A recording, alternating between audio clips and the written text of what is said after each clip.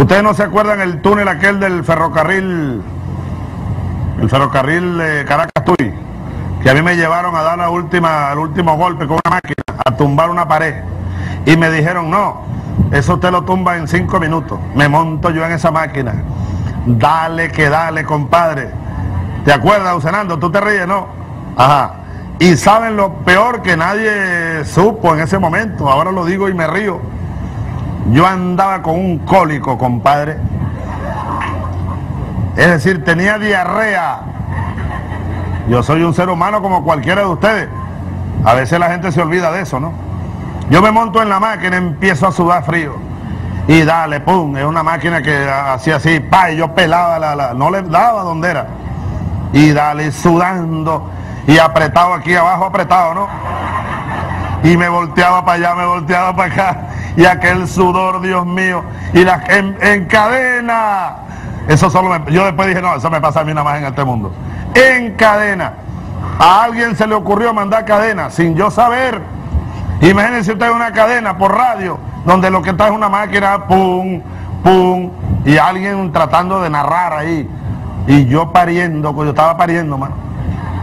Por fin le dije al Señor, y además el sudor me tapaba los ojos, no veía. El polvero aquel me tapaba todo. Había que darle ahí a la piedra.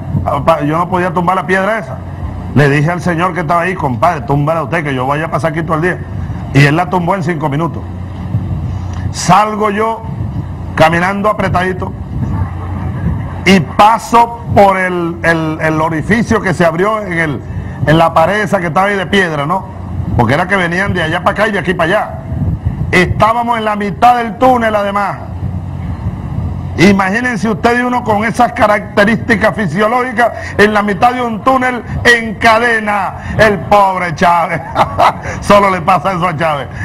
Yo paso aquel, aquella polvareda, compadre, a ver qué consigo, a ver si consigo una mate monte por ahí cerca. y lo que consigo al frente, como 100 periodistas, enfocándome, preguntándome, yo con aquel casco, Dios mío, trágame tierra, llévame de aquí, Dios mío. Y les dije, señores, he concluido, por favor, estoy apurado, abran paso, y no sé qué más, y tal. Entonces veo, eh, estaba pues los rieles del... No, los rieles no estaban todavía, era el túnel nada más. Era, era un camino, pues el túnel y una carretera interna de tierra. Y lo que veo un autobús, me monto al autobús, dejé la seguridad atrás, qué seguridad y qué cipote, compadre. Y le digo al chofer, compadre, prenda y arranque. y el hombre estaba, arranque, compadre, le dije. No le voy a decir aquí lo que le dije al señor. Arranque o le dejo aquí no sé qué. Entonces... y, la cámara detrás de mí, compadre. Claro, los camarógrafos inocentes, ellos no saben el drama que yo estoy viviendo. Ellos pensaban que se la estaban comiendo. y el ministro de infraestructura, que era el general Hurtado, venía atrás. Espérenme, presidente, no espero a nadie, compadre, me voy. el chofer prendió por fin, bajo amenaza mía, prendió la, el autobús y los dos solitos arrancamos se alcanzó un muchacho de seguridad corriendo, se pegó y se guindó y, se subió. Dale duro, compadre. El túnel, ¿dónde me paro yo en el túnel? Hacer lo que tenía que hacer. Dale, dale, raran varios kilómetros.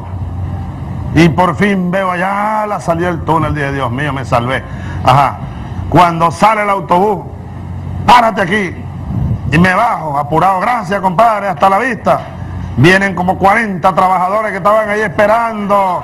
Chávez, Chávez. Dios mío, ten piedad de mí. Y los saludé, yo no sé de dónde saqué yo eh, fuerza para aguantar aquello, compadre. ¿Qué tal, muchacho? Yo, no. Y le digo, entonces, compadre, ¿dónde hay un baño por ahí? Algo, ¿dónde? Allá hay un trailer, mira allá, de los ingenieros y tal. Ah, había que subir, además, era una subida una carreterita. Y yo, bueno, ya vengo, chicos, voy al baño un segundo, espérenme aquí. Y voy. Ya las cámaras se habían quedado atrás, ¿no? Ya me salvé de las cámaras. Y doy la vuelta. Cuando voy llegando al tráiler, compadre, salen cuatro perros de esos grandotes. ¿Cómo se llaman? Esos perros gigantescos.